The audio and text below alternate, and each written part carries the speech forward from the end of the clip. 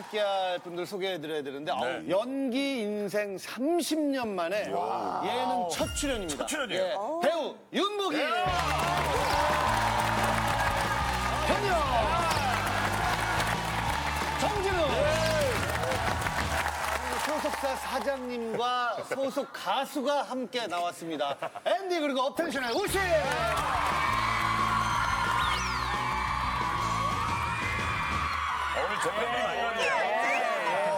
아니 윤복희 씨는 사실 예능엔 처음이죠. 네. 저희 안녕하세요를 선택한 이유가 있으세요? 아니 제가 신동엽 씨. 너무 좋아해요. 그러니까 우리나라 개그맨 중에 제일 웃기신 것 같아요. 아유, 아유, 아유. 아우 더 웃긴 사람 얼마나 많은데. 진짜 세상에 너무 말씀하신 게. 눈에서 막 이 자글자글한 게 눈만 봐도 벌쳐 오죠. 그렇죠. 눈빛이. 아니 근데 엄마 역할 전문인데 예. 실제로는 미혼이시래요. 그래요? 이야, 미혼이시구나. 아까 남자친구랑 사실 오랫동안 사귀었어요. 몇 년? 그럼 9년 됐네. 됐나? 너무 오래 사겠다. 그죠? 예. 그래서 좀 합의를 봤죠. 무슨 합의죠? 결혼하기로? 결혼하기로? 어, 축하합니다. 그럼 선배가 좀 알려주세요, 우리 현영 씨가. 결혼은 이런 거다. 그러니까 남편이 막 술 먹고 늦게 들어오거나 막 속 터지게 할 때 남편을 원망하기보다는 내 전생을 원망하면 돼요. 내가 전생에 죄를 졌나 보다. 이렇게 하면은 행복한 결혼 생활을 할 수 있어요. 우신 씨가 너무 웃긴 게 잘 우리가 무슨 얘기 하는지도 모르는데 그냥 미소는 져야 돼요. 알아듣긴 해요. 뭐야. 해봤어요 연애? 아이 해봤 해보긴 해봤겠지. 했죠. 네. 당신보다 더 많이 했을 수도 있어요. 진짜?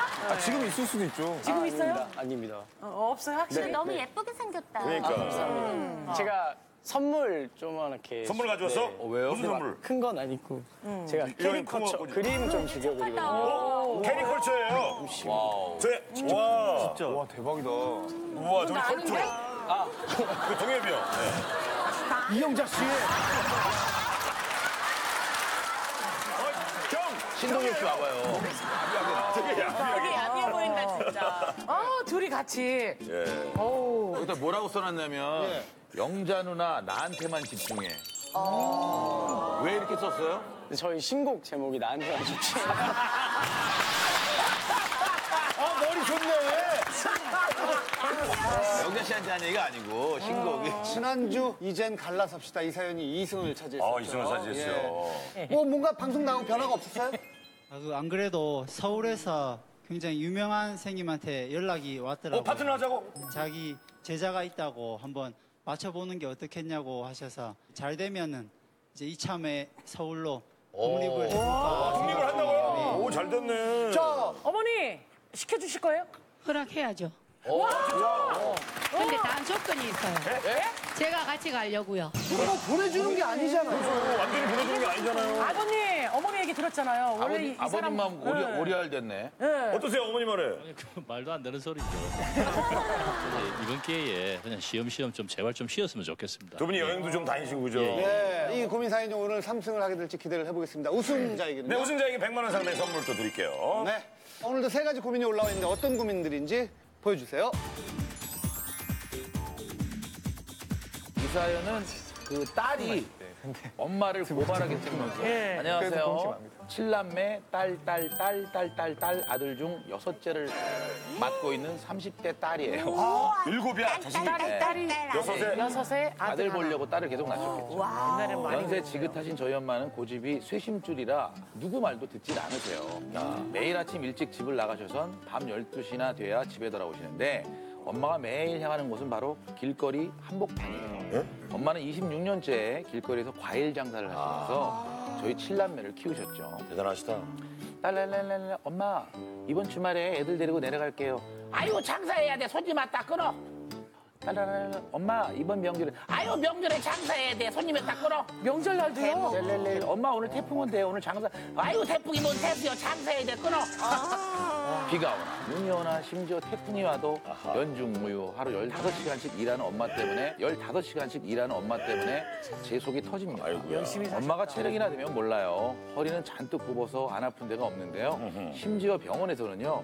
관절염이 심해서 당장 수술하지 않으면 앞으로 못 걸을 수도 있어요. 난 수술 안 해요. 수술하면 장사를 못 해요. 난 장사를 해야 돼. 이러니 지나가는 행인들도 아유 저 아줌마 자식도 없나 자식들이 대체 뭘 하시길래 수 있죠. 엄마가 저 몸으로 일하게 그냥도 아유 졸지에 저희 신라면은 불효자가 되고 막 엄마가 남은 인생이라도 편히 쉬시길 바라는 건 제 욕심인가요? 엄마 이젠 일 좀 그만하시고 제발 누리고 좀 하시라고요. 아, 이건 또 일 때문에. 이게 이제 어른들은 이게 그냥 평생 본인의 직업으로 삼고 이게 습관처럼 몸에 배어 있어서 여기서 또 벗어나기가 쉽지 않을 수도 있거든요. 어떻습니까 이 사연 들으시니까? 전 사실 얼마 전에 내가 엄마랑 연을 끊어야지 막 이런 적 있었어요. 어, 왜요, 왜요? 그러니까 똑같으세요. 아, 아, 일만 하시고. 어, 쉬었으면 좋겠는데 쉬지도 않고 계속 일만 하니까 막 그걸 보자니 속상하고 그렇죠. 외면하자니 막 아무튼 지금 막 아직도 좀 머리가 아파요. 어. 아니, 저희 어머니도 이렇게 생선 가게를 네. 하셨잖아요. 생선 가게를 하셔가지고 처음으로 중국집을 가는데 저희 어머니가 짬뽕을 딱 드시면서 깜짝 놀라시더라고요. 왜요? 어, 야 짬뽕이 이렇게 뜨거운지는 몰랐다. 그러니까 아, 맨날 식용을 드셔가지고 울면서 이렇게 드신 거예요. 아니 저희 엄마도 가게에서 주방 일을 혼자 직접 다 하세요. 근데 이렇게 칼질하다가 여기가 이만큼 배신 거예요. 그럼 병원에 가면 되잖아요. 안, 안 가죠? 담배째를 뿌리고 줄줄 말고 또 일을 하신 거예요. 근데 저도 아이를 낳기 전에는 저희 엄마가 만약에 계속 고생하시는 것 같으면 아우 그만 좀 하시지 이런 생각 들었는데 애가 생겼잖아요. 그러니까 다은이를 보면서 제가 일을 하다가 느끼는 게 이건 습관이 아니고 내 몸이 어떻게 되든 내 자식 입에다 따뜻한 밥 한 술, 따뜻한 옷 하나 더 입혀야지 이 마음이 더 크셔가지고 그렇겠죠, 부모의 일손을 못 넣는 것 같아요. 어머님이 아, 칠남매를 두고 너무 계속 고생을 하시기 때문에 고민이라고 주인공을 만나보도록 할게요. 네. 자, 고민의 주인공 나와주세요.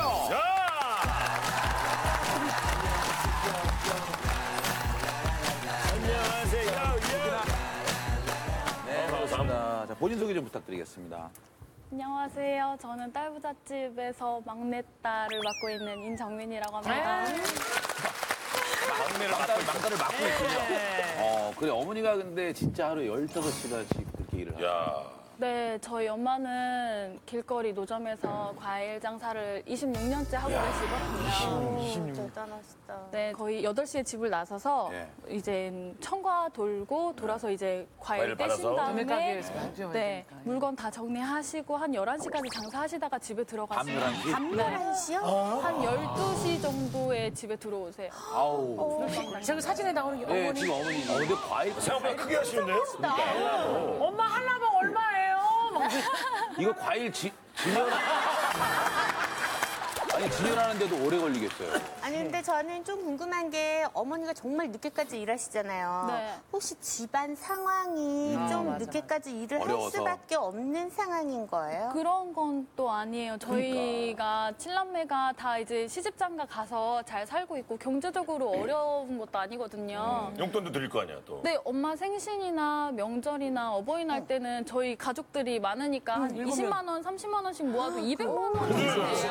그렇죠. 210만 원이네요. 그렇게 드리는데도 불구하고 엄마는 나가셔서 일하시니까 좀 이해를 못 그러니까 이게 우리가 이렇게 언뜻 봐도 옷을 굉장히 현란하게 입고 오셨어요. 예. 과일 색깔 입고 오셨어요. 그럼 뭐 한라봉, 색깔. 총과일, 총과일을 몸에 입고 오셨는데. 어머님이 제가 볼 때는 옷값 때문에 계속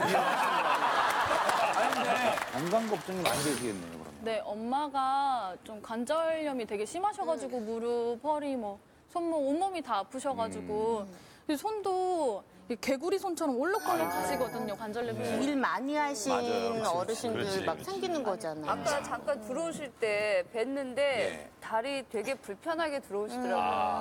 아, 자, 지금 또 어머니가 도대체 왜 이렇게 억척스럽게 일을 하시는지 건강까지 해쳐가시면서 만나보고 얘기를 나누고 있습니다. 어머니 안녕하세요. 네, 마이크 어머니 계시고요. 어머니 과일 장사 어떻게 하고 오셨어요? 저기요. 우리 딸들이 KBS 방송 무슨 좋은 자리라고 하면 엄마 가자고 졸러. 아니, 그럼- 그래서 하루 눈물을 머금고 문 닫았습니다. 그다음 문 닫고 여기 있어도 마음은 거기가 다 있어. 우리 창고에 과일 다 썩어. 어머니, 어머니, 뭐 아까 잠시 말씀드렸지만 손이 이렇게 많이 울퉁불퉁하시고. 한일이에요.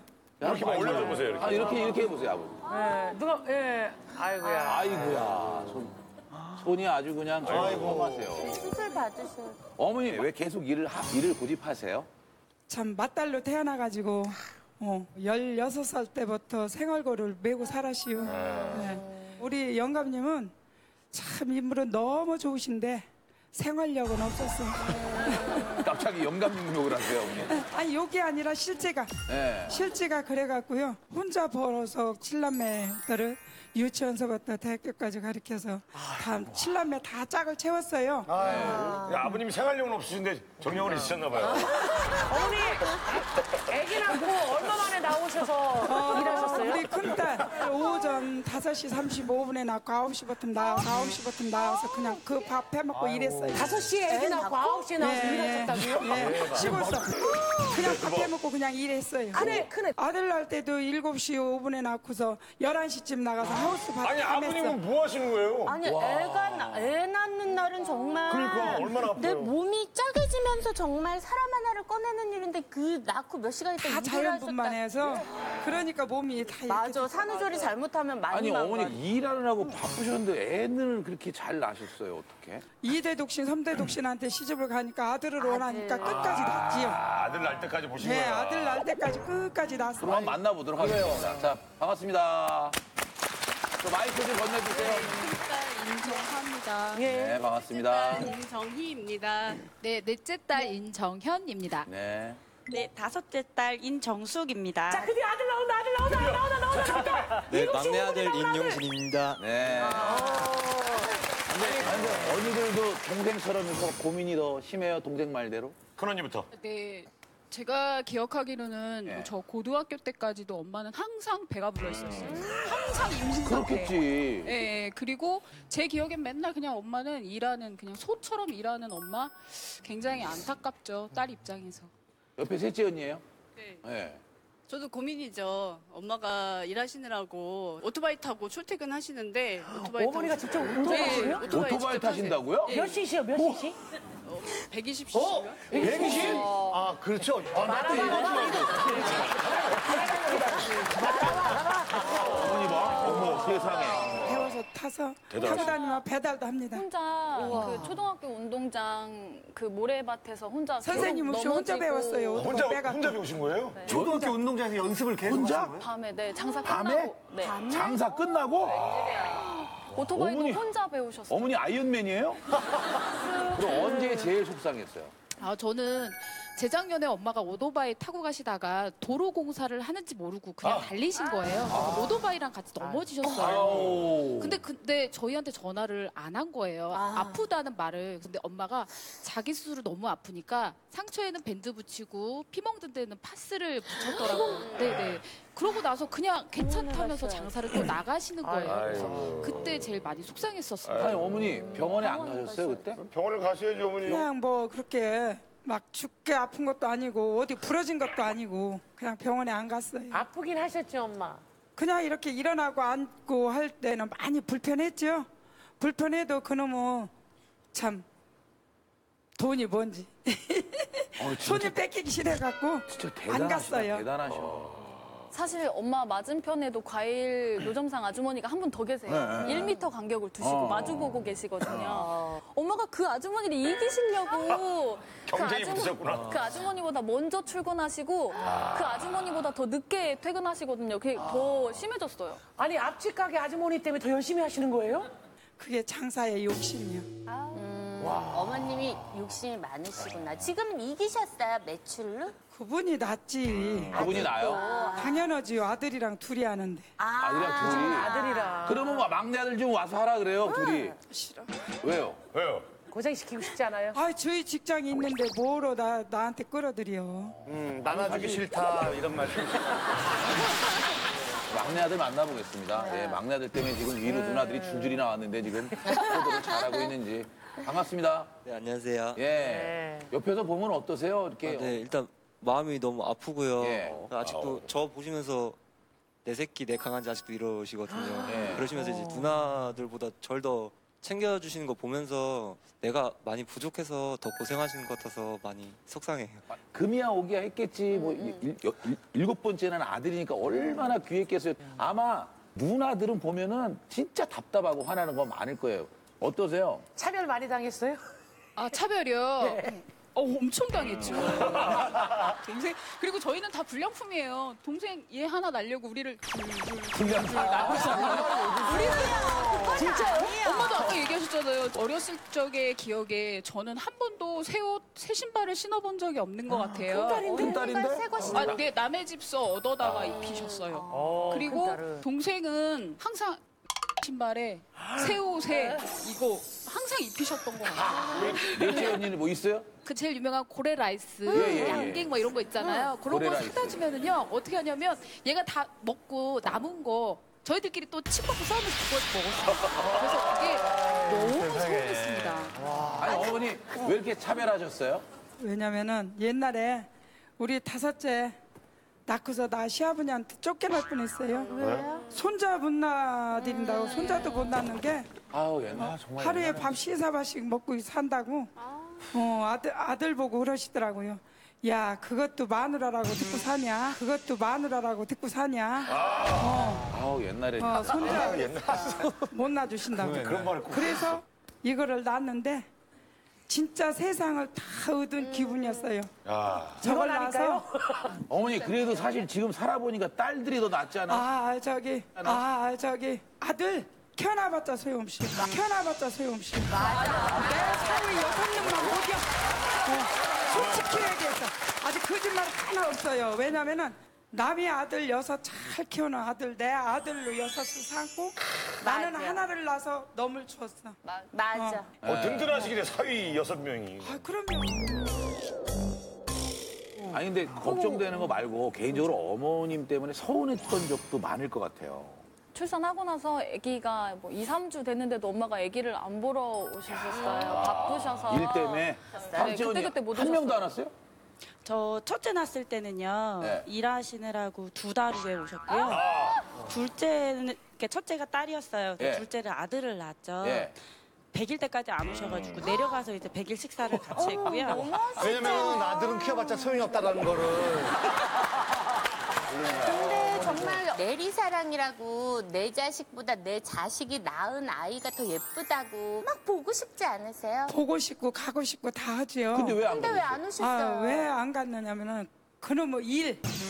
일 때문에 이 과일 장사가 라는 게 하루 문 닫으면 그냥 왕창 재고 그러니까 나니까. 다 상해버리기도 하고. 네, 네. 손자들하고 이렇게 이쁘기는 기가 막히게 이쁜데 같이 놀아주고 안아주고를 못해. 왜냐면 내 몸이 이러니까 애기들을 못 안아줘.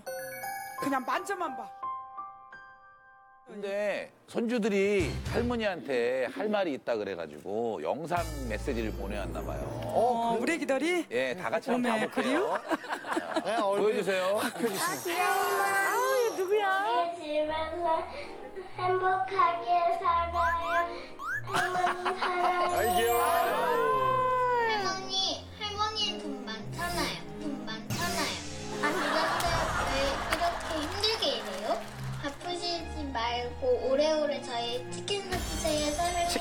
치킨 사주세요. 치킨 사주세요. 여기 네 명이다. 다섯 째네죠, 다섯 째네. 할머니, 사랑해요. 막내는 먹는다 그냥 막내는. 네. 아이고 귀엽다. 어머니. 봐봐요 돈 많은데 왜 일 그렇게 열심히 하 어떻게 생각하세요 그 말에 그렇게 돈을 벌어야 치킨 사주잖아요. 그러니까 정말 애들의 저말 어. 때문에. 치킨 사주려고. 아니. 혹시 딸들 중에 섭섭한 딸또 없어요? 아유, 어, 넷째 딸. 넷째인가요? 제가 엄마 딸들 딸들 중에서 제일 요즘에 최근에 가장 아픈 손가락이에요. 왜냐면 제가 결혼한 지 8년 차인데요. 아직 아기가 없어요. 아하. 그래서 인공수정도 하고요. 시험관도 세 번 정도 했는데 어 그때마다 너무 속상한 거야. 안 되니까. 그래서 엄마한테 한탄하려고 전화를 해 울면서 어 진짜. 근데 엄마는 어 알았다. 네 마음 이해한다 하고 그냥 끊어버리세요. 저는 엄마한테 위로를 받고 싶었거든요. 아 음. 우리 딸이 정말 힘들었구나. 이해한다. 아이고. 우리 딸 얼마나 고생이 많았니. 그래 너도 생기겠지. 생길 거야 라고 그런 말을 듣고 싶었는데 엄마는 장사하시느라고 유일하게 그걸 해줄 수 있는 존재가 엄마잖아요. 그렇죠? 어머니 엄마한테 그 왜- 말을 듣고 싶었던 거죠. 좀 위로해 주시지 왜 마음이 너무 아픈데 거기서 그렇게 말할 때 엄마가 돼갖고 뭐라고 말을 하겠어요. 응? 그래도 그 너도 생길 거야 이렇게 따뜻하게 말 한마디 해주길 바랬대잖아요. 예, 지금, 너무 마음이 지금 아파서. 해줘 버리세요. 지금 네. 얘기하면서 한마디 해주세요. 아유, 너무 마음이 아파서 뭐라고 할 수가 없어. 우리 넷째 안 생겨도 너무 걱정하지 마. 언젠가는 하느님이 하늘에서 우리 딸한테 선물을 하느님이 주실 거예요. 다 그렇죠. 울- 다 눈물이 글썽거리는데 아들만 멀쩡해. 우리 큰 딸은 없어요? 또 큰 딸은 속상했던 거?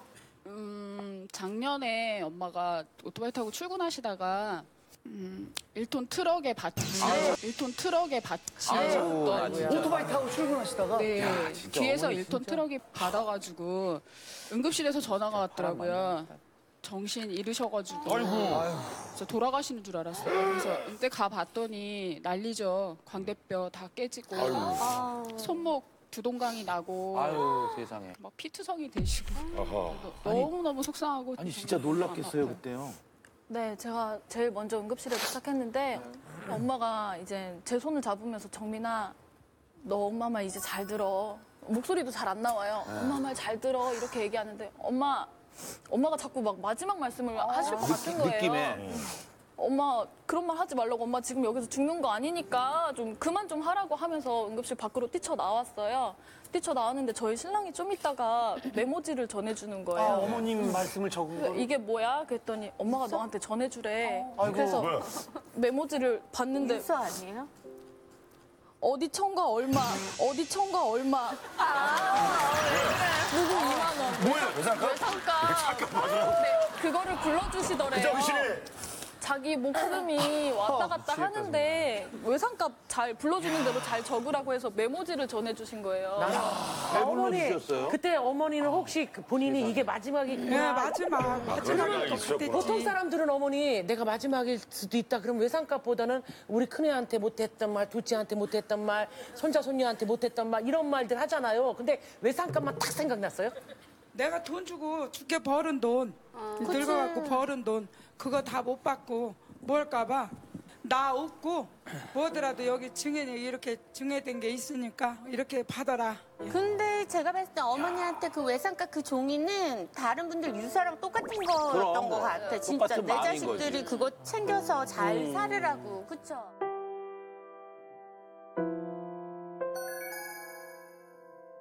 여기 반대로 어머님이 자식들한테 좀 서운한 건 없어요?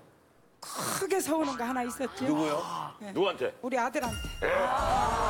역시 역시. 우리 아들한테 왜 서운했냐면은 11월 27일 날이 우리 손녀딸 돌이었어. 팔찌하고 반지하고 목걸이하고 해서 닷돈을 해갖고 갔어요. 그 가게 문을 닫고. 가게 문을 닫고. 참 우리 사위들하고 이렇게 좋은 자리에서 만나니까 술이 왜 그렇게 맛있어? 그럼 좋은 자리 좋은 상태. 그래서 먹다 보니까 내가 술좀 챘어. 네. 그럴 수도 있죠. 건강했어. 얘기하기 졸만하게. 네. 그래서 우리 아들 보고 아들아.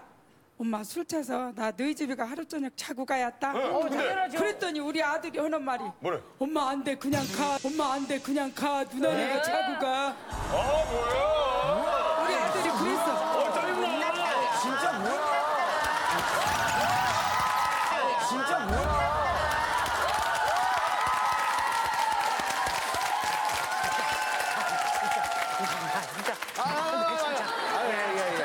야, 진짜.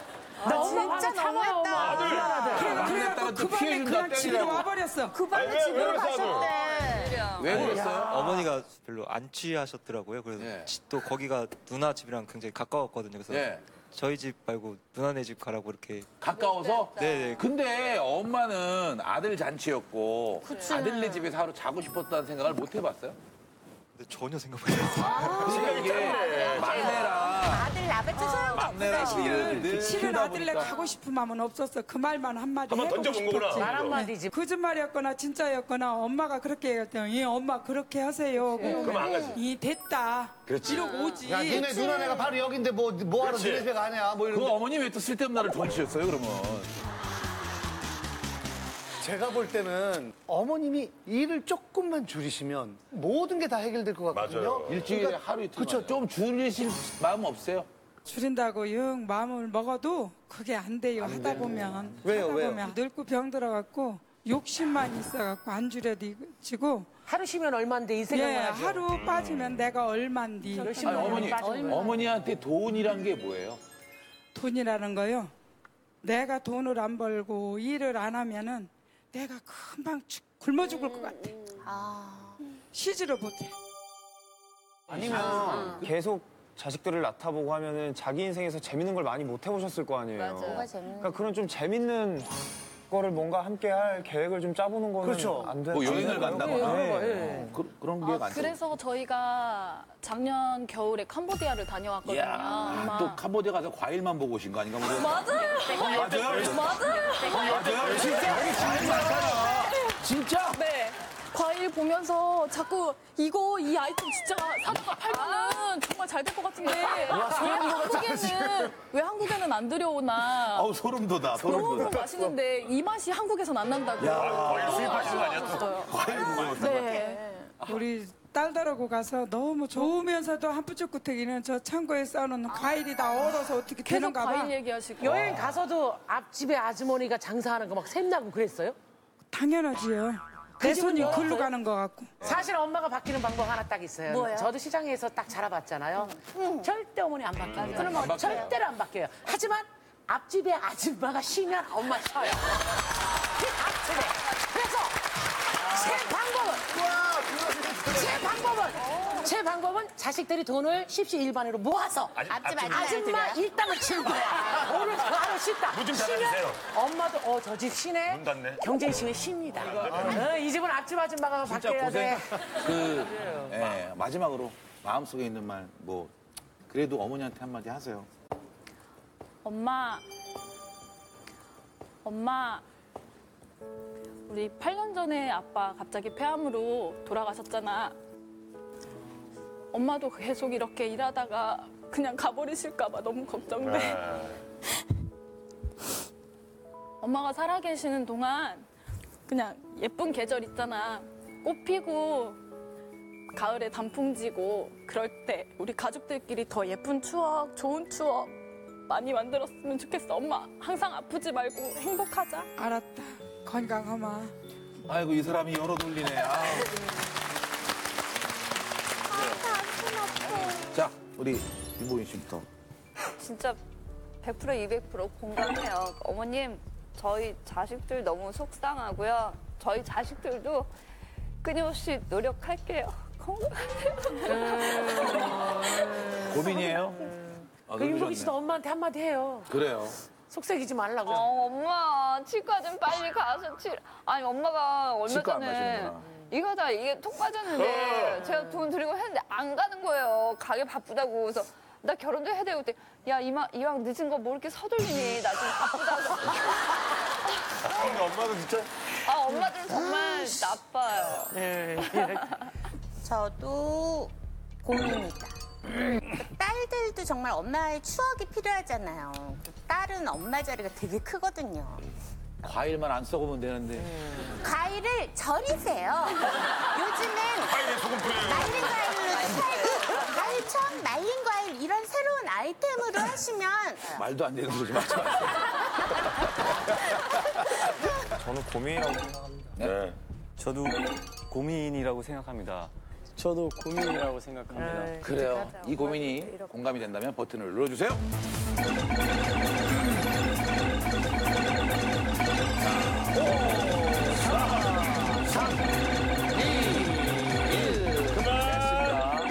있어요. 네. 그러면 만약에 이게 표가 많이 나와서 일등이 됐어요? 1등이 되면 매주 여기 엄마 오세요. 쉬는 거죠. 엄마 쉬는 거죠. 네. 쉬는 거죠. 근데 그 얘기를 일찍 일찍 그 얘기를 먼저 할까 그랬어. 지금 생각이 난 거야. 지금 생각이 난 거야. 매주 매주 오시면. 완전 너무너무 좋겠다고. 자, 어머니. 따님에게 한마디. 엄마가 바라는 거는 엄마는 다 산 인생이고 그죠 너덜 우리 칠남매 엄마 눈 감을 때까지 오래오래 행복하게 사는 모습만 보여다고 그걸로 엄마는 건강 유지하며 그러니까 너덜만 행복해. 엄마 다산 인생 걱정하지 마.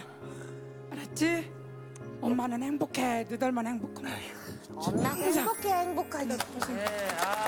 고생이 되더라도 행복해다오. 어머니, 딱 드릴 말씀이 제가 재작년에 어머님이 자꾸 하셨는데 어 자꾸 집 좋은 거를 볼 때마다 예쁜 꽃이 보이면 자꾸 어머니 생각나요. 그래갖고 그 자식들 마음에 못 박지 마시고 추억을 좀 많이 만드셨으면 좋겠어요. 너무너무 힘들어요. 하루하루가.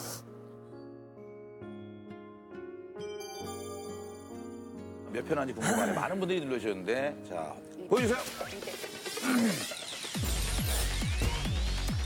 1위에서 다 같이 어머니 왔으면 좋겠다. 그럼 180점 나와야 돼. 180점, 180점. 180점. 동점, 동점, 동점. 매도 돼.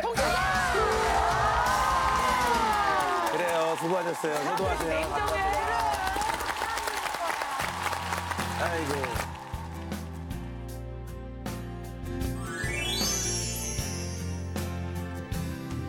아, 너무 힘들다는 중2 학생의 고민입니다. 아이고야. 세상의 중심에 있는 친구죠. 저 가장 가뜩이나 가장 힘든 중2를 아이고야. 대체 누가 얼마나 이렇게 힘들게 하는 건지. 우리 집 화병 유발자.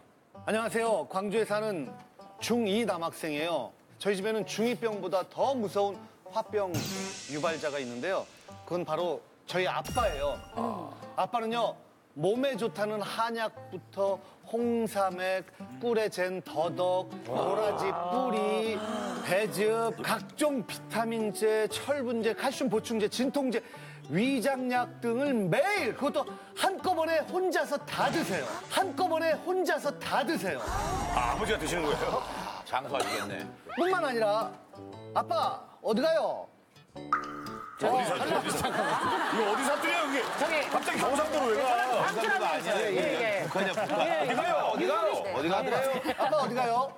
어, 한의원에 침 맞으러 간다잉. 간다잉. 몇 시간 후 신경외과 간다잉.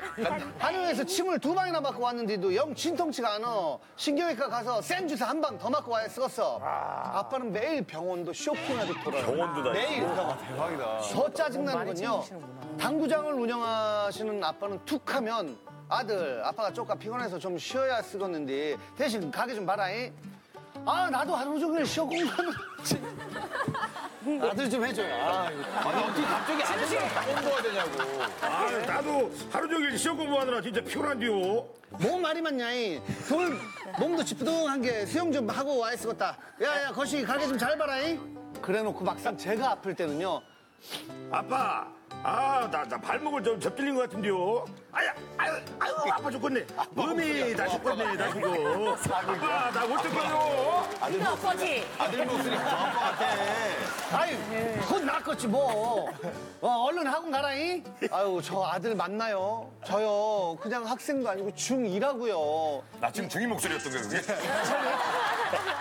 이러다 저 진짜 삐뚤어질 것 같은데 제발 저희 아빠 좀 말려주세요.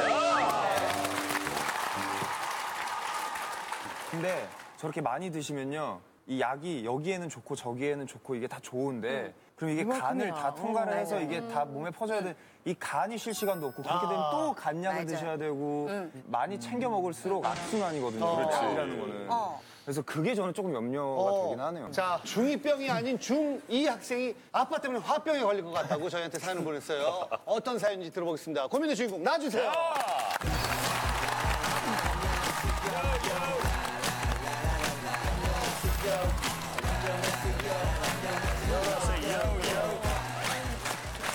중2의 느낌은 아니에요. 어머머머머, 키도 크네. 어이구, 어, 키도 크고, 있고. 덩치도 좋고. 네. 이거 아빠, 아빠 약 좀 뺏어 먹은 거 아니야? 아니, 그럼, 자, 본인 소개해주세요. 안녕하세요. 저는 광주에서 온 중학교 2학년 이재윤입니다. 목소리구만. 근데 진짜 아빠 때문에 사연을 보낸 거예요? 여기 나온 거예요? 진짜 아빠가 약이란 약은 지약 빼고 지약 빼고 다 드신 것 같아가지고 지약 농약만 빼고 다 드신 거예요? 좀 이게 한꺼번에 먹으면 안 좋다고 배우잖아요. 그래. 하도 드시니까 말씀드려도 제가 제재를 하기에는 좀 도가 넘은 것 같아서 고민이라고 생각해요. 그러니까. 공주 봐, 야, 공주 봐. 와. 공주 봐, 야, 공주 봐. 야? 와, 와. 지금 저기서 처방된 것만 일곱 개. 네, 처방 약이 일곱 개 저기서 정도. 이제 아니, 저거를 하루에 한꺼번에 다 드신다고요? 네, 야, 저거 안 좋은데. 저거 드시면 배부르시겠어요. 밥을 못 아니, 목근육이 저게 다 너무 하나? 약만 드시고 운동은 안 하세요? 운동도 많이 하세요. 진짜 아, 운동 심하게 많이 하세요. 많이? 3, 4년 전부터는 그 젊은 분들도 하기 힘드신데 그 철인 삼종 경기, 철인 삼종 경기. 건강하시네 그럼. 아니 그게 건강한 것 같지만 관절이 네, 말도 되게 못하게 안 좋아요. 그래서 고관절약도 아까 드신다 그랬잖아요. 일년에 대회는 마라톤- 안 나가요? 네. 마라톤 대회 같은데? 1년에는 마라톤 같은 건 대회는 10회 이상 정도. 10번? 선수네 선수. 나가시고 철인삼종 경기는 3, 4회씩? 3, 4회씩? 1년에 3, 4회를 천인삼종 야, 운동을 안 하시고 가만히 계시면 괜찮은데 그러니까 운동을 하셔서 아프신 거기 때문에 그것 때문에 약 운동을 너무 많이 해서 아파? 네. 운동을 어, 좀 못할 수도 있겠다 하면 또 약을 드시고 운동을 좋아하시니까. 건강하려고 운동을 하는데 그게 과해져서 몸이 아프니까 아, 내가 몸이 안 좋은가 약을 먹고 좀 괜찮으면 또 운동 아, 아픈데 또 약 먹고 아 운동하고 이렇게 되는 거죠? 어, 네. 악순환이 계속 반복되는 거죠. 그러세요. 뭐 이딴 식으로 사시나? 네, 일단 한번 아버님을 만나보도록 하겠습니다. 아버님 안녕하세요. 예. 건강해 보이 시네요. 근데 왜 이렇게 약 많이 드세요, 아버지? 다 몸에 좋은 것들인데 이제 제가 운동을 좀 심하게 하니까 지금 말하자면 쥐 내리지 말으라고 마그네슘이나 칼슘 보충제 좀 먹고 어, 쥐안 나는데 필요하죠. 예 그다음에 이제 근육 인대를 제가 부상을 많이 당했었는데 인대 통증들 때문에 진통제 먹는 거 운동할 때만 먹습니다 또 진통제는 그렇고 운동을 매일 하니까 뭐 이장약 아, 운동할 때만 먹는데 운동을 매일 하니까 매일 드시는 거네요. 그렇죠. 또 뭐 드세요? 뭐 위장약 만성 위염이 있는데 이제 좀 술을 즐겨 하니까 술도 좋아하시고 술도 좋아하시고. 와 간치수가 저기가 있을 것 같은데. 아니 아버님 운동 너무 세게 해도 안 좋다는데 어느 정도로 운동을 많이 하시길래 약을 막 그만큼씩 드세요? 어, 철인대 아이언맨 같은 경우는 가라스형 3.8km, 사이클 180km, 마라톤 40km. 그건 아이언맨이니까 그런 예, 거예요. 한꺼번에 합니다.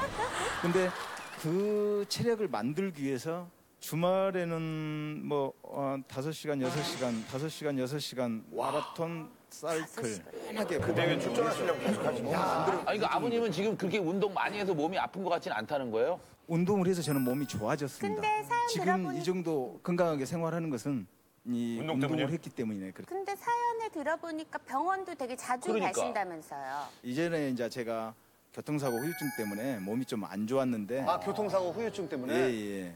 그러니까 운동 때문에 좋아진 거고 예. 병원 가는 건 그때 교통사고 난 것 때문에 가는 거다. 그렇죠. 예. 운동해서 아픈 건 아니다. 아닙니다. 예. 운동을 해서 좋아지면 약을 안 먹어야죠. 계속 약을 실은 먹잖아요. 안 먹어도 안 먹어도 되는데 지금은 이제 시즌이 되니까 철인 삼종 운동 그 킹코스를 하려면 아이언맨 킹코스를 하려면 아이언맨이 돼야 되니까. 시즌이 되니까 거기에 대비해서 운동량을 늘리죠. 음. 그러니까 근육통이 생기고 방지해 주기 위해서 마그네슘하고 칼슘제 아니, 운동 중독이 되신 사실 중독이야, 중독. 아들이 이렇게까지 고민인지는 정말 몰랐습니다. 저는 이제 막둥이고 늦둥이고 그러니까 장가 갈 때까지는 건강하게 살아야 되지 않겠느냐 이런 생각 때문에 12, 3년 전에는 체중이 103kg 나가고 어, 이 운동을 해서 저놈 클 때까지 어떻게든 살아야 되겠다 싶으니까 운동을 해서 살을 뺐는데 23kg 정도. 아들을 위해서 저렇게 열심히 운동하시는 거라고 하는데 알고 있었어요? 그건 좀 말이 안 되는 것 같아요. 왜요? 말이 안 됩니다. 그러니까 아빠가 운동을 하시면은 주말에 하고 오시면 좀 피곤하시잖아요. 네. 그래서 자기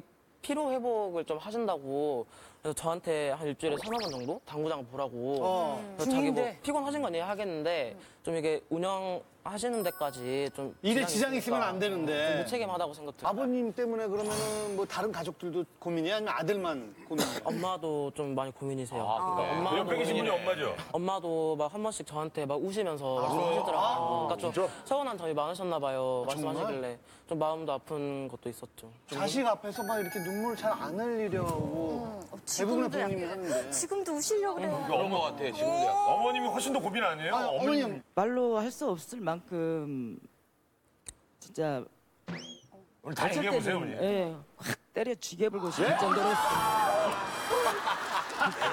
저 말이 그렇게 센 됐습니다.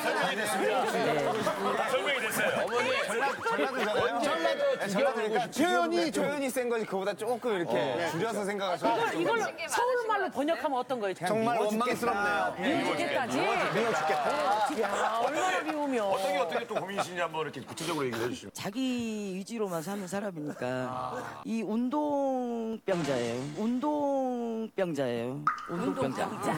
운동병자. 정신병자 말고 운동병자. 운동병자. 네, 운동병자. 뭐야 새벽에 얼마 안 됐는데 응급실을 갔어요. 아, 이제 응급실에서 링거를 맡고 있는데 코빼기만 살짝 내비치면서 자네는 금방 나서버려 건강한 게 그러고 그냥 또 운동을 하러 가는 거예요. 그럴 때 더 때려 죽여버리고 싶죠. 너무 서운하고. 아플 때 옆에서 너무 무심하게 이렇게 행동하면 진짜 서운하잖아요. 잡내미 뚝 떨어지죠. 제가 오래전에 그 다리에 악성 종양, 악성 종양이 생겼어요. 네, 무릎에. 그래가지고 이제 진단을 받아야 되는데 보호자를 오라는 거예요, 교수님이.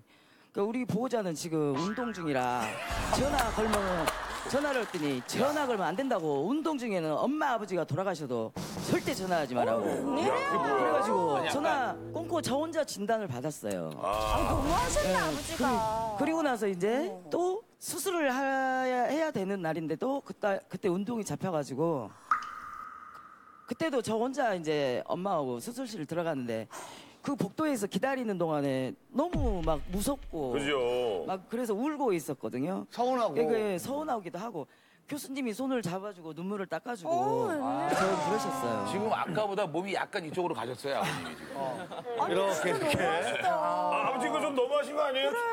지금 말이 좀 비약됐는데 진단 받을 때는 내가 불가피한 약속이 있었고 뭐 뻔히 아시지 않습니까? 골프 약속 있으면 골프 약속 있으면 웬일이야, 하기가 골프 쉽지 치러 않다고요. 그래서 그것 때문에 이제 그때 당시에는 또 참여를 못했었고 아버님, 나중에 속설이 아니었단 말이야? 아버님, 예. 아버님이 종양이에요. 근데 엄마가 골프 치러 가. 말이 돼. 그럼 안 섭섭할 것 같아요? 아 그때까지 몰랐습니다. 저한테 사실은 사실대로 말을 안 했었고 어머니 종양이라고 얘기 안 하셨어요? 예? 재발을 할 때였거든요. 재발. 그냥 다시 재발했다. 그럼 재발이면 알아야죠. 해야 되니까 어, 이제 오라 하는데 전화 끊어 전화하지 안 돼. 지금 못 못 받아 끊어버리는 거예요. 네.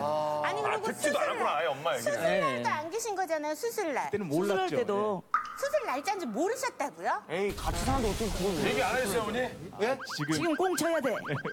빨리 그러니까 이제 말할 틈이 없어서 못 들었고 나중에 나중에 알고 그랬었냐 그러고 중간에 전화 좀 받을 수 있지 뭘. 어머니 지금 한 대 때려줘요. 그래 맞아. 그래 맞아.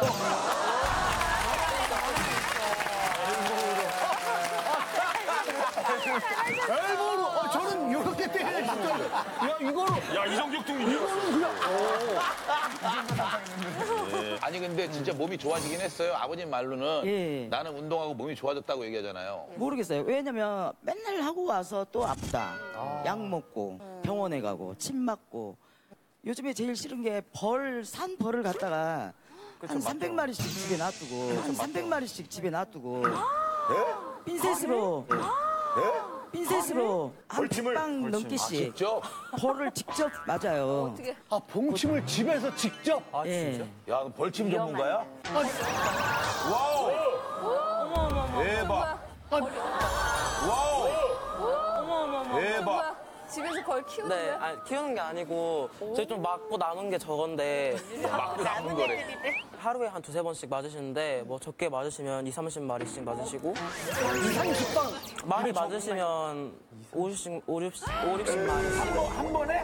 네, 한 번에 어디에다가? 어깨도 아프시면 어깨도 맞으시고 거기다가 한 50방울 넣는다고 이렇게? 네, 너무 그러니까 나눠서 과하고. 넣으세요 나눠서 이렇게 혈에 따라서 이렇게 네. 그리고 어. 그 저게 독이라 한 방에 막 그렇게 몇십 방 맞으면 몸에 안 좋을 것 후유증이나 이렇게 갑자기 오는 뭐 부작용 같은 거 없었어요? 아니 그러니까 효과가 있어요 없어요? 옆에서 보면은. 제가 보기엔 효과 없는 것 같아요 피나고 진물 나고 막 그게 막 굳어서 막 붓기도 하고 그래. 막 흉터도 남고 그러니까 보기엔 진짜 정말 아파 보이죠 아니 왜 벌침을 그렇게 많이 맞으신 거예요? 한의원에서 10여 년 전부터 그 정제된 봉독을 주사기로 놔주는 봉침을 계속 맞았었습니다. 그랬는데 그게 맞을 때만 이 통증이 있으면서 효과가 없는 것 같더라고요. 도로 마찬가지고 도로 마찬가지고. 그래서 한 1년여 전에 프로 육상 선수들이 인대 부상을 입으면 이 생벌 침을 맞아서 효과를 많이 본다고 그렇게 이야기를 들었습니다. 근데 그게 왜 그러냐면 천연 봉독에가 우리가 일반 항생제 먹는 항생제에 1600배의 오. 항생 효과가 있답니다. 이게 염증에는 최고의 치료제다 이제 이렇게 이야기를 들었죠. 그래서 이제 벌을 사다가 이렇게 한번 맞아 보니까 효과가 좋아요. 그 효과가 정말 좋고요. 아니, 이제- 그게 전문가가 아니고 일반인이 놔도 되는 말벌침 잘못 맞으면 생명을 앗아갈 수 있는 거 그런데 아시죠? 이렇게 벌침을 계속 맞고 그러다 보니까 내성이 생겨서 그런지 산악사이클 하면서 난데없이 이렇게 말벌통을 네. 건드려버리게 어. 됐어요. 근데 알고 보니까 머리에 일곱 방씩 일곱 방씩이나 wow. 말벌이 맞았어요. 근데 멀쩡했어요? 근데 눈이 좀 마비되면서 눈이 감기면서 입이 마비가 되더라고요. 말이 잘 안 나오더라고요. 말벌한테 일곱 방을 쏘였다고요? 야, 그거 진짜 생명이 위험한데? 그래서 일반인 같으면 아 마 분명히 맞아, 맞아. 큰 사고가 났을 맞아. 거다. 맞아, 더군다나 머리인데. 근데 아버님은 내성이 생겨서 근데 아까- 쏘는데 아니, 아까- 의사도 그렇게 이야기를 했습니다. 이게 태균 씨도 여쭤본 게 전문가가 놔야 되는 거 아닌가요? 그러니까 그냥 일반인이. 일반 분들이 본인들이 놔도 되는 거예요? 남이 놔주면은 그지 불법 의료가 되는데 본인이 직접 이렇게 벌침을 놓는 것은 통증 부위에 놓는 것은 그러면 지금 어, 괜찮대요? 합법적이라고 그렇게 아니 근데 본인이 다 판단하고 그러니까. 직접 시술하고 뭐 또 섭취하고 이게 아니 그 옆에 아까 지금 어 어머님 친정 옆에. 어머니 네. 사위가 이렇게 막 매일 약도 많이 먹고 운동도 심하게 하고 다 알고 계셨어요? 같이 사니까 아. 제가 딸네 집에서 살고 있어요. 예, 예. 쟤 낳고 나니까 제가 칠삭동이로 태어났어요. 아이고. 일곱 달 만에 건강하네요, 그래도. 7개월 만에 태어나가지고 야 10개월 다 채웠으면 어마어마할 뻔했네. 어머니 사이가 벌침 맞는 거 보셨어요? 자기가 직접 맞아요. 예. 그러면 자기 몸, 자기 건강은 참 더럽게 이제 방조 말로 더럽게.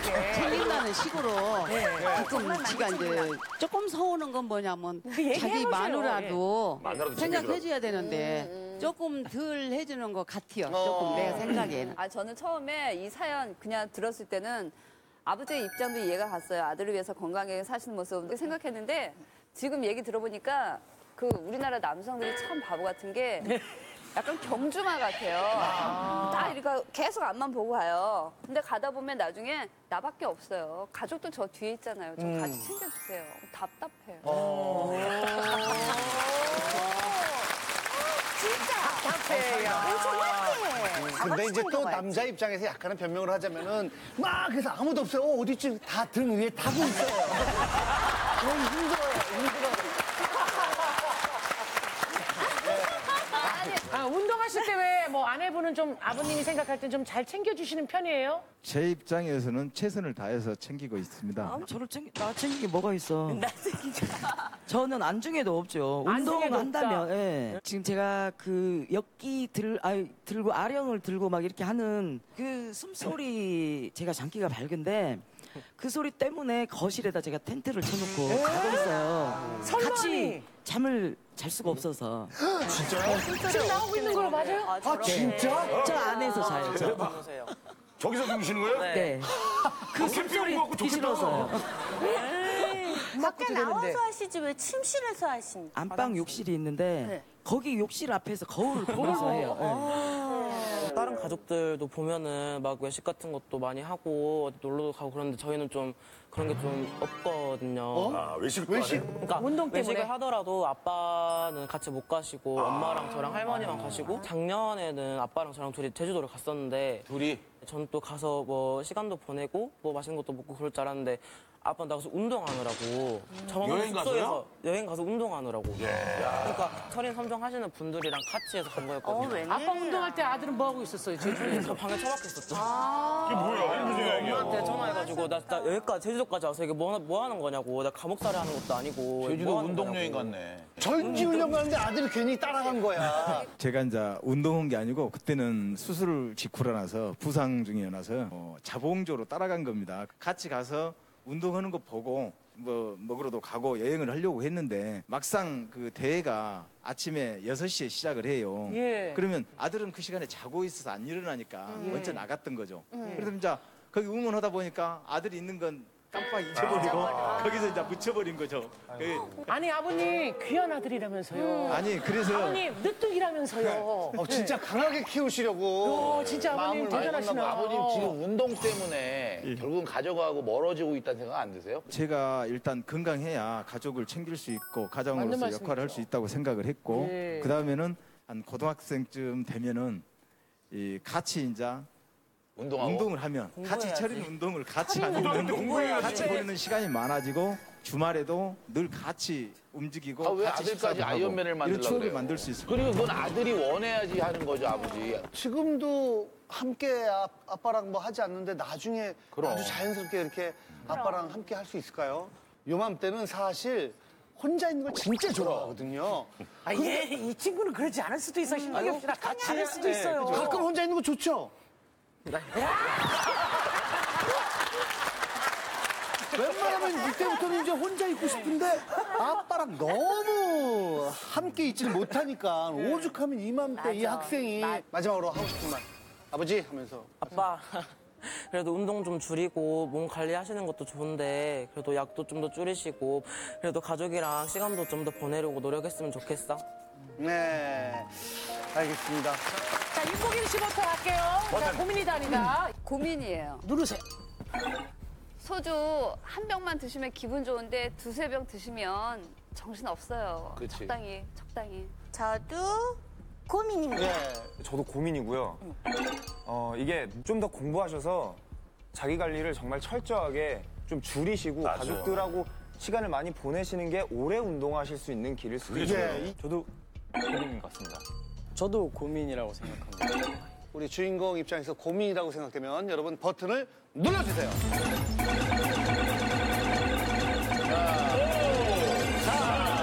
자, 3, 2, 1. 아버님 소리가 벌침 같죠? 지금 몇 번 맞으신지 아세요? 지금 100번 넘은 것 같아요, 아버지. 예. 자, 아들한테 한마디 하세요. 직접. 아들아, 내가 너하고 어, 유치원 때부터 7년 동안 같이 수영장을 다녔던 그런 추억. 네가 네가 이제부터 아빠하고 같이 주말 이틀 중에 하루만이라도 아빠하고 같이 운동 오는데 꼭 따라가자 이렇게 운동하자고? 부탁을 하는데 그걸 들어주면 같이 운동하고 같이 식사하고 너무 좋은 시간이 될 거야 그러면 자, 과연 181표를 넘어설지 어, 결과 보여주세요. 그냥 무조건 넘어간 것 같은데. 자, 150표.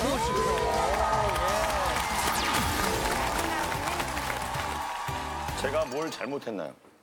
안녕하세요. 작은 고민이 있는 29살 남자입니다. 사람들은 늘 제게 말하죠.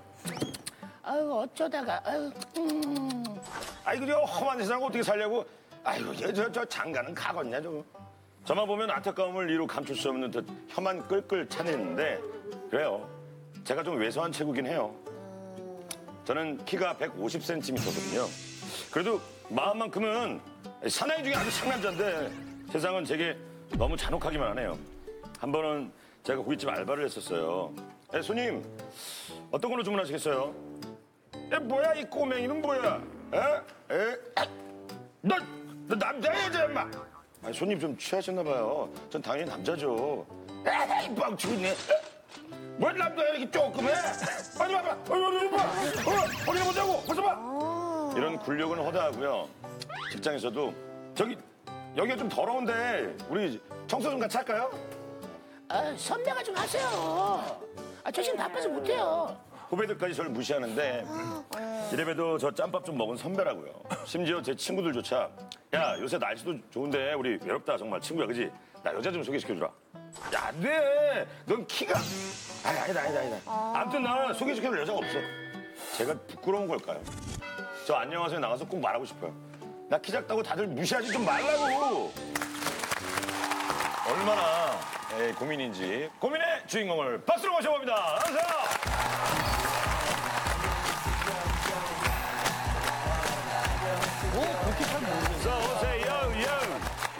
아이고, 아이고. 올라오세요. 해야 되는데. 안녕하세요. 안녕하세요. 자, 앉으세요. 자, 작으시긴 한데 정확히 신체 사이즈가 어떻게 되시는지 한번. 150에 60kg에 240이요, 발 사이즈. 다른 가족들도 키들이 다 작아요? 아, 저희 아버지만 저보다 1cm 작으시고요.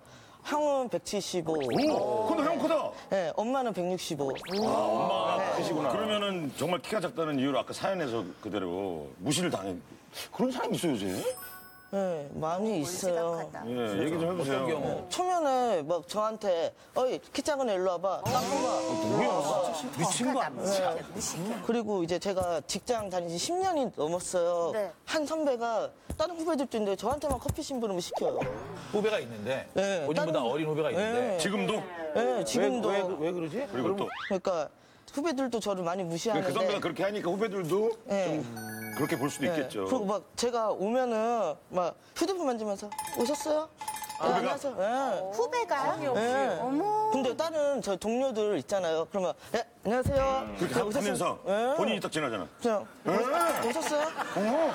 오셨어요? 우리한테 딱 고자질해 괜찮았다. 이러면서. 오셨어요? 그리고 귀여워요. 제가 그리고 막 청소 막 하자고 뭐 좀 시키면은 옆에 있잖아요. 저 후배가? 바빠요. 예. 저 바빠요. 선배가 하세요. 그렇게 무시한다고요? 예. 그렇게 해요. 제가 막 무시. 묘한 매력이 있는데. 우리 다 일러요. 괜찮아요. 다 일러요. 아, 위에 사장이나 뭐 이렇게 뭐 그런 사람도 있을 거 아니에요. 그 사람들은 예? 어떻게 해? 아, 그냥 다 무시하는 것 같아요, 저를. 그 사람들도 다? 예. 아까 알바했던 것도 아, 알바했을 때요? 어. 아, 알바했을 때 친절하게 하면, 친절하게 하면은, 막, 뭐야, 너, 어? 뭐 이상하다고 막 저한테 막 이상하다고. 왜 그래? 그러니까 뭐왜 기집애가 남자 같은데 왜 기집애 같이 행동하냐고. 바지 내리려고 하고. 아니, 그럴 때 당황하지 말고 확 보여줘요. 자, 보세요. 이렇게. 누가 더 찝찝하겠어. 네?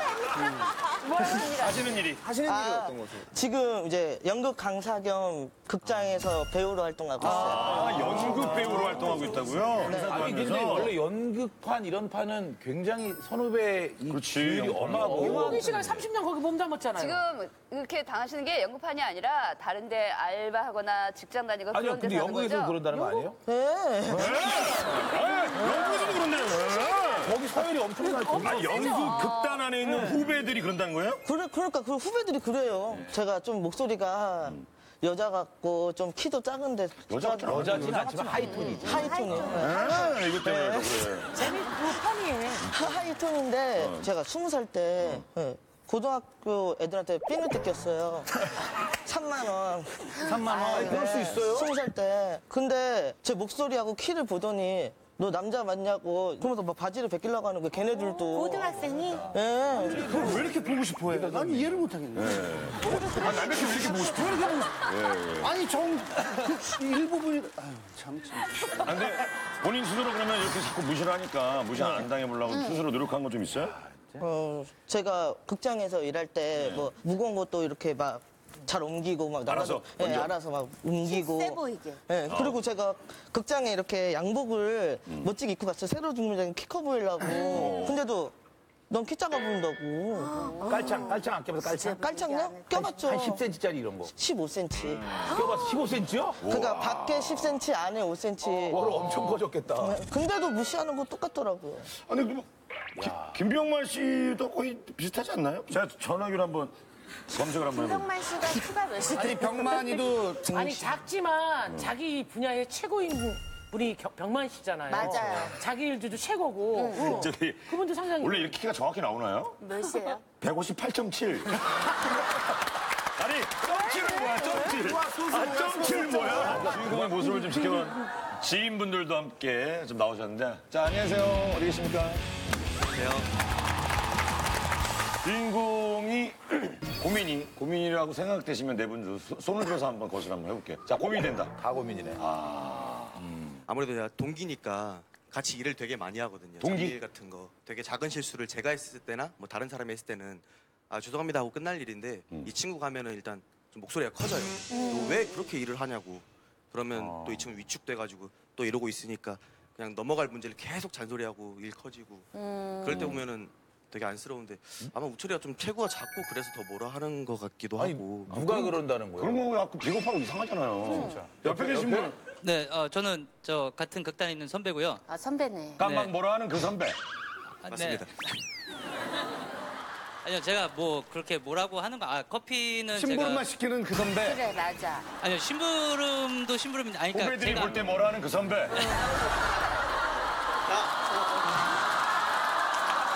아니요 이게 커피 같은 경우에는 유독 우처리를 시키는 게 그냥 일단 습관적으로 인사처럼. 네. 인사처럼요? 아니, 들어오면요. 우철아 이러면 제가 커피요 이래요. 아니 근데 제가 뭐라고만 한 게 아니라 어느 날 이제 청소를 할 때 보니까 우철이가 자 얘들아 저기 빗자루 좀 갖다 줄래 그런데 어떤 후배 하나가 그 옆에 있잖아요 갖다 쓰세요 제가 지금 이거 하고 있어서 못 갖다 드려요 이런 식으로 얘기를 하는 거예요 응. 그래서 어떻게? 그럼 뭐라 해줘야지. 어 제가 엄청 뭐라고 했죠 어디서 건방지게 선배한테 그런 식으로 말을 하냐 근데 본인이 계속 커피 심부름을 시키니까 그 친구들 얕잡아 보는 거 아닐까요? 아, 제 솔직히 말씀드리면 커피는 저기 이 친구나 이 친구나 다 타거든요 혼자서 일을 잘 안 하는 스타일이에요. 예? 혼자서 일을 조금만 바로 옆에 있으면 저거 좀 갖다 자기가 갖다 가져갈 수 있잖아요. 제가 더 멀리 있으면 저거 갖다 달라. 선배. 약간 얄미운 스타일이구나. 되게 싫은 사람이에요. 나쁜 선배. 선배. 뭐, 그렇지. 아니, 뭐, 친하게 지낸 이제 선후배니까 뭐 지금 이렇게 얘기를 하는 건데 그 옆에 친구는 뭐. 저는 극장에서 극작 연출을 하고 있고요. 아, 연출 가시고. 그리고 현재 우철이가 아르바이트 하고 있는 PC방 의 사장도 겸하고 있습니다. 아, 사장이시네. 현재 아르바이트 할 때도 사실 무시를 많이 당해요. 우철이 같은 경우는. 알바하는데도? 그래서 편하게 대한다고 하면서 다가와서 돈을 빌려가는 손님도 있어요. 돈을 빌려가는 손님도 있어요. 와, 손님이- 아르바이트한테. 착하고. 손님이 돈을 빌려가요? 만 원, 이만 원 이렇게 해도 사실 아르바이트한테는 큰 돈이잖아요. 우철이가 너무 착해서 또 빌려줘요. 이게 우철 씨가 좀, 아, 나는 지금 못합니다. 거절을 못하는구나. 거절을 못해요. 아. 그게 가장 큰 것 같아요. 근데 그 심리가 어떤 거예요? 궁금해서 그런데. 대부분 사람들이 약간 친하게 지내려고 하지 않기 때문에 돈을 꿔주면 저 사람이 날 좀 좋아하겠지, 좋아해? 아, 그래서 고마워하겠지, 빌려주나? 뭐 이런 마음이 아니요, 있어서 그런 그런 거. 마음은. 거절을 못하는 거죠. 네. 그냥 예를 들면, 아, 꼬맹이! 야, 만 원만 빌려줘. 근데 돈 빌리는데 꼬맹이라고 하겠어요? 그랬겠 꼬맹이라고 하죠. 네. 꼬맹이라고 해요? 그럼 뺏는 꼬맹이. 그러면 대답을 해요? 이 그러니까 참는 게 내가 삭히는 게 다가 아니거든요. 그럼. 이거를 어떤 식으로 나에 맞게 잘 바꿔나가는 게 진짜 잘 유연하게 참는 다른 거거든요. 에너지로 돌려서. 네, 네. 그 옆에 여자분은 어떤 관계신가요? 예, 안녕하세요. 극단 대표인데요. 아. 제가 오늘 여기에 와서 몰랐던 사실을 많이 알게 되네요. 아, 다시 기강 정립하겠습니다. 네, 지금 어떻게 보이세요, 보실 때? 이제 공연을 끝나고 나갔을 적에 저 키 작은 남자, 여자야, 남자야 어. 그러든가 또 심지어는 어머 저런 사람들도 배우 하나 봐. 뭐 이랬을 적에 많이 속상해요.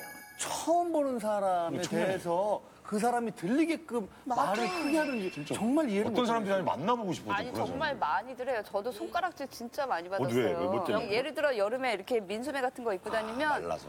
피죽도 못 먹냐 무대에 서 있으면 저를 보지 않고 다리를 보고 막 그런데 말랐다고. 근데 제가 지금 뵈니까 스스로 컴플렉스가 있잖아요. 그러니까 좀 그걸. 표를 내. 그러니까 남들이 알아채 그런 거 아니에요? 그러니까 자신 없으니까 아, 하기 싫어요. 하- 그거 말도 못하고 그 위축되고 약간 그런 거 있지 않아요? 네, 맞아요. 그죠?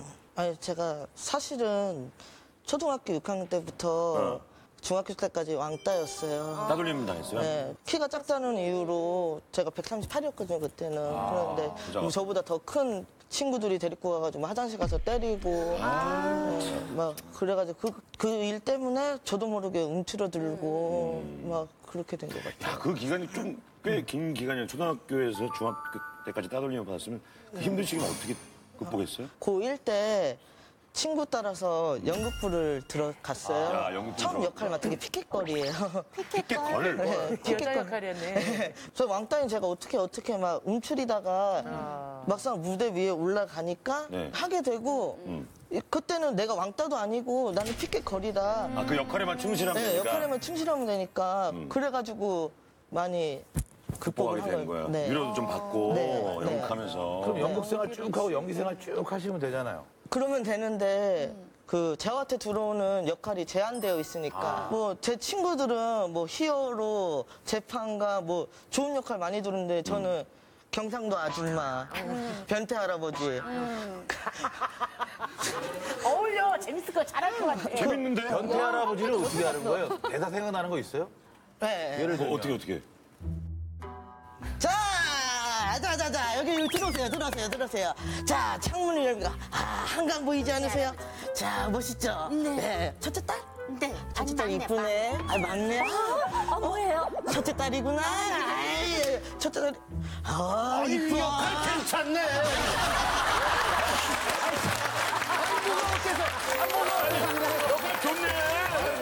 그럼 벤트 할아버지. 네. 네. 잘 살린다. 여왕은 어떻게 여왕? 영생납시오 무슨 일인데 이렇게 소란스럽느냐 이런 거 매력 있다. 아, 그럼 그런 역할을 주로 맡으시는 거구나. 네. 우리 우리가 뭐 관객의 입장에선 되게 착착 달라붙는데. 무슨 역할 하고 싶은 거예요? 나중에 그러니까. 대박 나지 않아요, 대부분? 그럼. 아, 그런 생각을 많이 하시는데 솔직히 저도 좀 욕심이 있긴 있는데 그러니까 남자다운 거 맡아주면 진짜 열심히 할 수 있는데 노력하면 할 수 있는데 기회가 없으니까 우리 연출가가 좀 기회를 좀 한번 줘보면 어떨까요? 주인공. 근데 우철이가 멋있는 역할을 하는 것보다 자기의 스타일에 맞는 그건 맞아요. 그렇지. 네, 감초 같은 역할을 하면 더 발전해서 또 훌륭한 배우가 될 수 있을 거라고 더 생각합니다. 사실은 모르게 이렇게 얘기하면 독설이 될지 모르겠지만 멋있는 역할을 해도 안 어울릴 수 있어요. 오히려 본인에게 잘 어울리는 걸 계속 더 키워나가서 더 큰 배우가 될 수 있거든요. 저는 이문식 씨 같은 연기자가 됐으면 이문식 씨도 좋겠어요. 좋죠. 되게 감초 연기 잘하시고 오달수 씨 이런 분. 오달수 씨, 키가 이문식 작잖아요. 씨. 두 개나 이만한 게 있잖아요. 정말 그 감초 연기에서 시작해서 지금 주인공 자리까지 다 그럼. 가신 분들인데 그렇게 수순을 밟아가면 언젠가는 주인공 할 수 있을 것 같아요. 그렇지. 아유, 나 어저께 여태까지 주연 한 번도 못 해봤는데 뭘.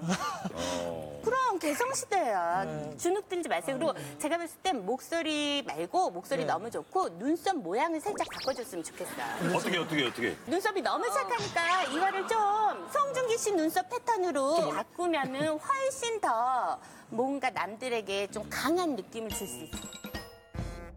지금 이제 가장 걱정되는 건 뭐예요? 네, 여자친구를 사귀는 게 제일 걱정이에요 아직 한 번도 연애 안 해봤어요? 아니 그건 아니고 두 번 사귀어봤는데 스무 살 때 그냥 한 달 아는 동네 누나인데 그냥 흐지부지 해지고 이제 스물여덟 살때 6개월 사귀었는데 성격 차이로 헤어지고 서로 성격 차이요? 차였다 찾다 할 수가 없었어 그냥 흐지부지. 애매하게. 네, 애매하게 주변에서 이렇게 좀 소개시켜주면 좋잖아요.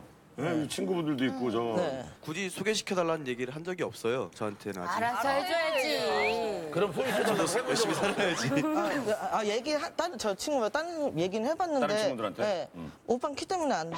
아, 작아서 안 된다. 네, 작아서 안 돼. 아니면은 나 없어 친구 없어. 그 단호하게 또 자, 우리 저기 친구분 소개시켜달라는 얘기가 없어서 안 소개시켜줬다고 이제 얘기를 했는데 네. 본인은 여자친구 있나요? 예, 여자친구 있습니다. 저는 우철이가 저 친구가 소개시켜줘서. 아이고, 우철이가 소개시켜주세요? 아 그럼 왜 소개 안 시켜줘요? 소개 좀 소개 좀 시켜줘야지. 저도 친구가 없어가지고요. 저도 친구가 없어가지고요. 저래요. 저래요, 저래요. 아니, 근데 사실은 주변 사람들이 소개를 안 시켜주는 걸 원망해서는 안 되죠. 그렇지. 예, 만나기 위해서는 뭔가 좀 더 적극적이고 자신감이 있는 모습을 좀 보여줘야 될 필요가 나는 왜. 소개 안 시켜줘요? 제가 친구가 없어요. 예. 아 맞다, 나 친구가 없지. 아, 내가 아주 나 오해했네. 친구 없었구나. 지금 마음에 드는 두고 있는 여자분이 있어요?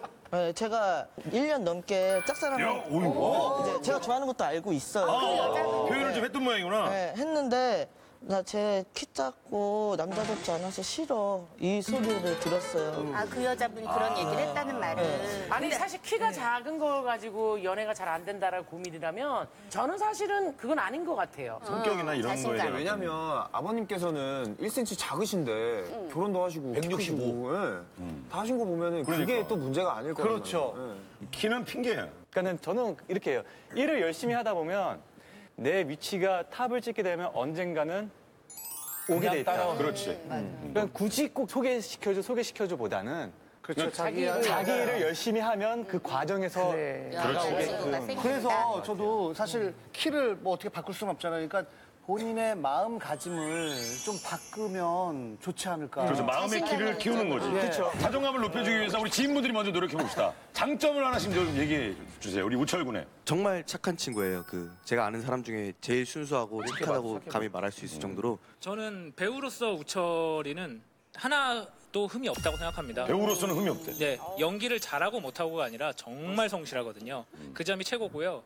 있다고 생각합니다. 이 정도로. 우리 대표님도요. 네, 정우철은요 행복 바이러스예요. 아. 저 아이하고 함께 있으면 항상 웃게 돼요. 같이 있으면 여왕을 만들어줘요. 오. 제가 이미 경험했거든요.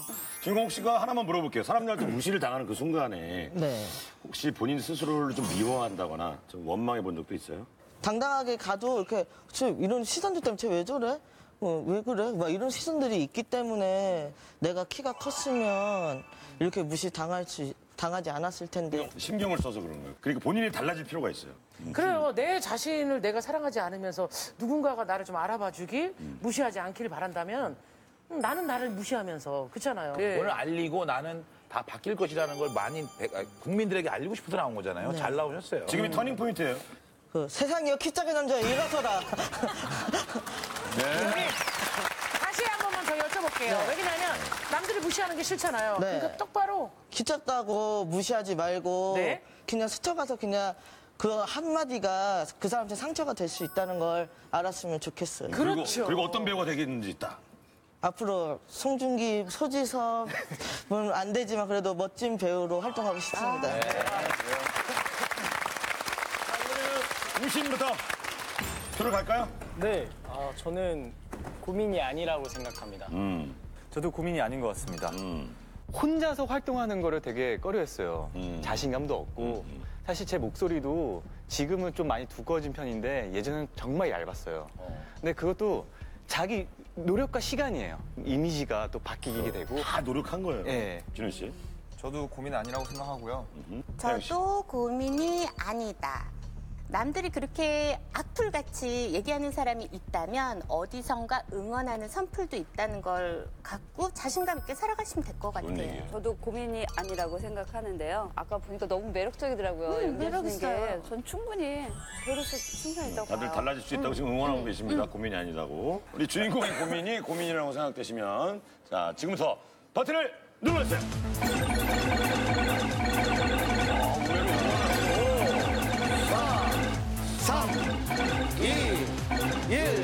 됐습니다. 친구하고 대표님 에, 한마디씩 좀 응원을 좀 해주시죠. 나 역시도 여기 있는 사람들 이렇게 완벽한 외모 아니거든. 컴플렉스 없는 사람 없어. 무대에서 나의 단점을 장점으로 만드는 사람이 되려. 너는 충분히 매력적이야. 아 멋지시다. 자 결과 보여주세요. 의외로 생각보다 좀 많이 눌러주셨던 것 같은데 100번 넘어갔네? wow! 멋진 변화가 일어나기 바랍니다. 이렇게 해서 이젠 갈라섭시다가 3연승을 차지합니다.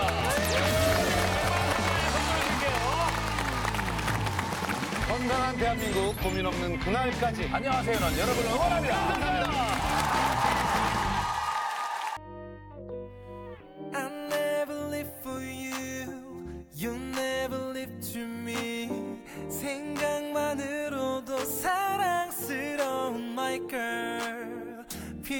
피곤하던 아침도 널 볼 거란 생각에 너무 좋아졌어. Love, love, love.